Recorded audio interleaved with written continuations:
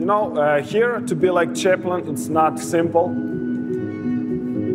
because you don't know which people you will meet here. We're now in hospital, Samaritan Purse, to help people who need uh, like medicine, but also people needs God. Sometimes it's hard for me because I'm uh, listen all the stories. You know, we have in Ukraine not just like war, we had like a spiritual war also. It's more important to share God's words to these people.